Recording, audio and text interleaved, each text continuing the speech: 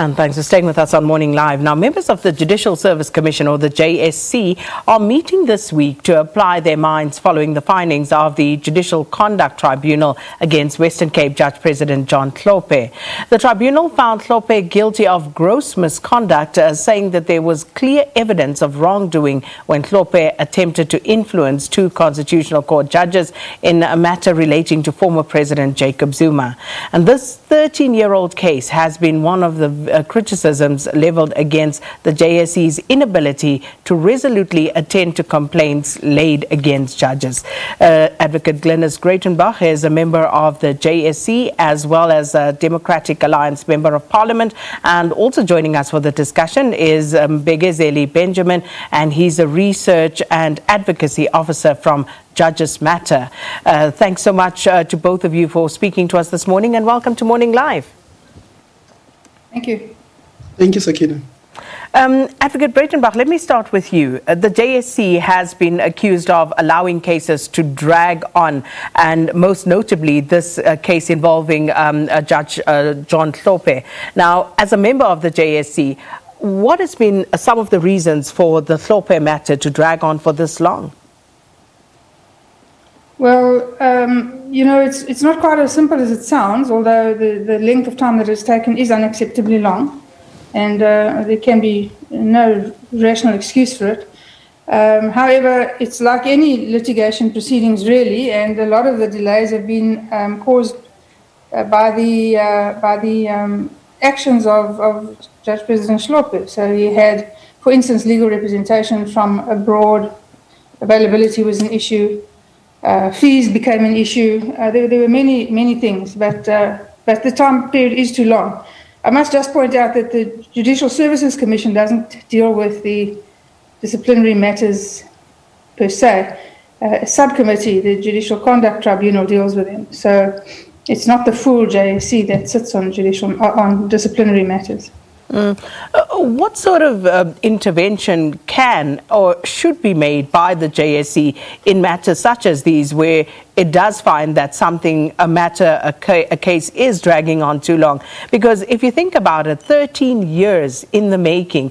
Um, it doesn't matter how you try to paint this one, it, it, it really, uh, really boggles the mind, Advocate Breytenbach. Uh, yeah. Sorry, carry on. Uh, certainly, I, am uh, not trying to paint it at all. And uh, fortunately, um, my tenure on the JSC started only very recently. But, uh, but, but nevertheless, it is, it is a, uh, it is a unreasonably long period of time. In my view, the matter should have been dealt with much more expeditiously. Um, of course, there are systemic delays that, that cause, cause delays, and we all understand that due process, the rule of law, access to representation, all of that is, is important. Uh, but the fact of the matter is that uh, Judge President Hlophe was a very serious um, member of the judiciary, a very high ranking member of the judiciary, and the fact that it took so long has certainly not um, enhanced the reputation of the ability of the JSC to deal with matters uh, that I must concede. Mbekezeli, let me bring you in. Um, your advocacy group, uh, Judges Matter, um, is dedicated um, uh, to interest in the activities of um, organs such as the JSC um, and South Africa's judiciary in general. What has been your role in this particular matter in terms of agitating for a, a resolution? Uh, thank you, uh, uh Sakina, and uh, good morning to the morning live viewers.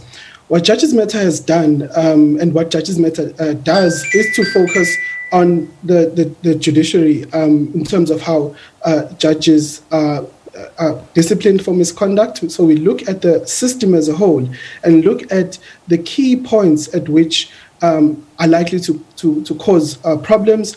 Um, and as uh, Glynnis says, um, the, the, this particular complaint has taken quite a, a, long time to resolve. Part of it has been because some of the parties have taken uh, the matter to court, but a big part of it was that there were no rules in the past that governed um, how the, the judiciary um, disciplined members. So there wasn't a strict complaints process, and that only came in 2010. And when it came, it was still subject to litigation, and only only now is it really taking foot, and which is why we see um, uh, bodies like the Judicial Conduct Tribunal and the Judicial Conduct Committee that sits and, and, and decides cases against judges.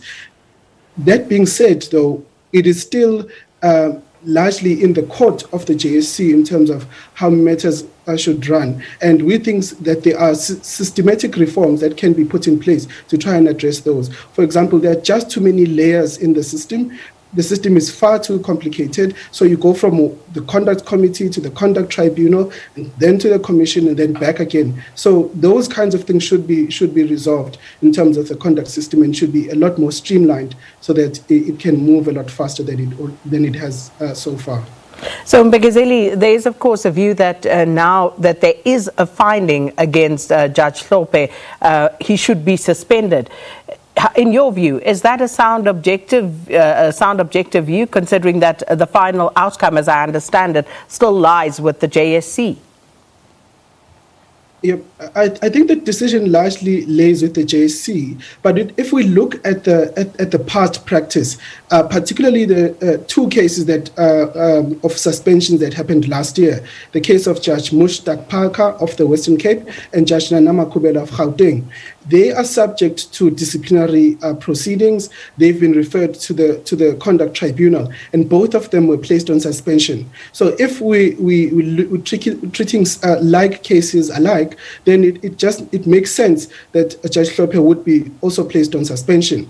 Um, it's it, it, it's also in terms of um, there, there's now been a finding, which is quite different from the other cases where there hasn't been a finding. So this this case is, has has advanced a lot further, and and the suspension it, it, it makes sense, not only for um, the the the High Court, the Western Cape High Court itself, but also to allow Judge Hlophe to properly um, uh, manage the case. Um, he obviously has uh, competent lawyers on board who can help him, but he needs now to devote a lot more attention to it. And so, him being uh, um, sort of temporarily relieved of some of his responsibilities would make sense.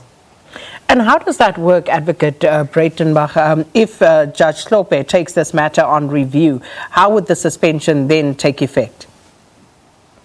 Well, the, the suspension um, is, is put in place by the President uh, on the recommendation of the Judicial Services Commission. So, um, yesterday we briefly uh, discussed the matter, of course, uh, and um, there's a this, what we call the smaller JSC meets to to discuss this issue. Uh, the politicians withdraw from this discussion, the politicians that serve on the JSC, simply because uh, if and when it comes to the National Assembly, um, we would then have to participate in that debate and, and also vote. So it would be improper to, um, to involve ourselves in the process at this point. Uh, so we have the politicians have withdrawn from that process. Um, there will be a discussion on uh, on taking the matter forward when it will be dealt with, when it will be discussed by the JSC, um, and also the the uh, the move for a suspension. Um, the JSC must then make, discuss it, make a recommendation to President Ramaphosa, who, who will then either place uh, Judge President Hlophe on suspension or not. Um, I agree uh, with Mr. Benjamin that um, that, uh, that, the matter is, is urgent, that there's a, a, strong precedent for suspension, uh, and in my view, uh, the suspension should be recommended uh, forthwith. And I see no reason why it shouldn't be implemented.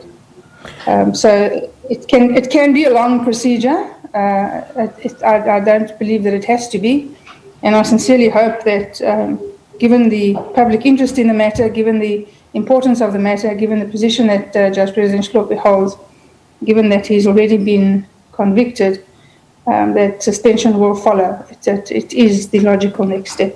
Mm. So this has already taken 13 years, and uh, given the recourse that is available to Judge Hlophe, how long do you anticipate that could possibly take, Advocate Breytenbach?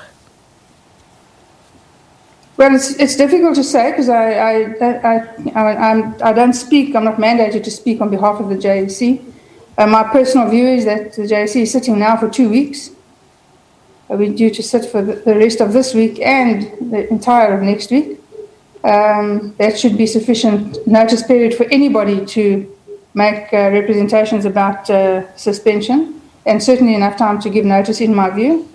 Uh, and I would hope that that would be the course that, that the JSC will follow, that they will give notice of their intention to discuss this matter, that they would gather the representations of the concerned parties, and, uh, and make a recommendation, a decision on a recommendation at least by the end of next week. Uh, Freedom Under Law has uh, written to the JSC requesting that we consider that, so I sincerely hope that that is what will happen. There, there, uh, there can no longer be room for um, prevarication and delays. Mm. And um, the JSC obviously expected to come up with a final outcome, but in doing so, Advocate Breytenbach, is there room to stray from the current judgment by the tribunal and determine otherwise? In, is there any sort of room for maneuverability there? Well, the judgment of the tribunal is, uh, again, in my view, with respect, uh, a very good and detailed one. It deals with the issues, I think, in in some uh, some detail, very thorough. And uh, no, there's no there's no possibility of straying from that judgment. You work within the four corners of the of the papers. Uh, that being said, um, uh, certainly Judge President Hlophe would be entitled to make representations about why he shouldn't be suspended, and the JSC will be uh, obliged to consider those. Mbekezeli, um, your organization, of course, also pays special attention uh, to the appointment process of judges in South Africa regarding matters of transparency, of governance, and um, uh, things such as that. And uh, looking at what's currently happening, uh, not just this case, but also yesterday, the JSC starting with interviews uh, for shortlisted candidates available for judicial posts. Um, as someone who uh, watches these things very closely, how would you say, you know, this process, how would you assess the process, firstly, and where do you think it could be improved upon?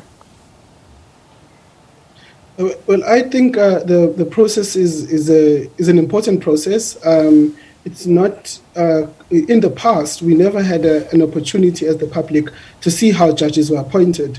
Um, Pre 1994, the Minister of Justice was the only person who was involved in the appointment of judges, which is why you found sometimes um, judges who would be leaning towards a, a certain political party, particularly the National Party, um, they were appointed as judges, and, and others who opposed uh, apartheid, for example, were never appointed as judges. So, so we moved from that past to the present now, where we hold public interviews where the public uh, can can sit and watch. The media is present, and there is a, a, body that is constituted by different parts of the legal profession, including members of parliament, uh, who sit and, and interview uh, uh, uh, candidates um, on, on a number of issues to test their fitness to be judges.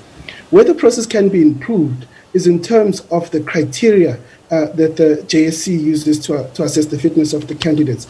It, it is very difficult to, to tell what exactly the JSC is looking for in a candidate you'll sometimes find that a particular candidate will be asked certain questions about their, their experience, about their knowledge of the law, about their uh, uh, the judgments that they've written. And then you'll find other candidates who are asked a fewer questions on issues that sometimes do not necessarily relate to the, the role of a judge. And so and we are we are quite concerned about that because it, it shows a certain level of unfairness.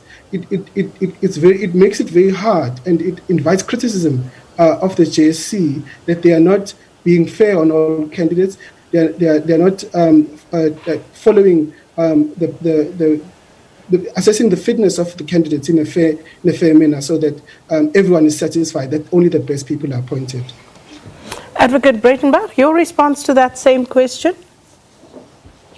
Well, um, I agree with uh, Mbekezeli that it's, uh, that's it's, a, it's a very transparent process, which is something uh, that should be lauded.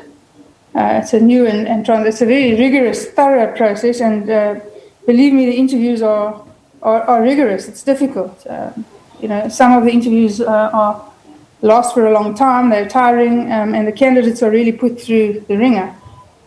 Um, so much so that uh, sometimes commissioners remark that they're surprised anybody actually comes. Uh, so, so yes, it's difficult to when you're trying to assess somebody who you don't know at all, um, based only on information that's been gathered by various from various sources, um, to to have a, a consistent uh, line of questioning for everybody. Bearing in mind that the JSC is quite big, um, people from very different um, areas are, are sitting on the JSC and have different interests in, in what they wish to ascertain. So the, the questions are not uh, consistent, I agree. Uh, however, you need to assess each individual as they sit before you, which, um, which, is, which makes it difficult to be consistent. Um, and also, some of the candidates have been there two or three times before. And so, you know, you've canvassed certain areas with them already and you know what those answers are. There are perhaps new issues that need to be canvassed that may make it seem like their interviews are much shorter than other people's. But, you know, if you bear in mind the information garnered from the two or three previous encounters, then, then that may not be the case. So it's an assessment of individuals. It's, uh, it's, it is difficult. Um, each each commissioner has an idea of what they're looking for in a judge, and, and they base their questions on that. Uh, uh, however, any any constructive criticism should be welcomed, and um, and perhaps it's something that we can look at. Perhaps it's something that we can revisit the questioning, um, the interview process of, of judges to try and make it more consistent. Um, but but in in uh, in its favour, I do think that it's very very rigorous uh, and therefore very effective. And, and as uh, Mbekezeli says, it's very, very transparent. Everybody can watch. Uh, everybody in South Africa knows what they're getting at the end of this process. So, in all, I think it's not a bad process. So we're wrapping the interview. We have about two minutes. And uh, just a final question to both of you regarding um, the whole notion of state capture. And we're dealing with that as a country. But what about judicial capture um, possibility? Is there something to that or not? And uh, I'd love for both of you to just expand on that. Um, uh, let me start with you, Mbekezel. Uh, Sakina, the judges are human beings, and judges live within uh, the society that we all live in. Um, we expect that they will act with the utmost integrity. Um, they will always be honest at, at, at all times.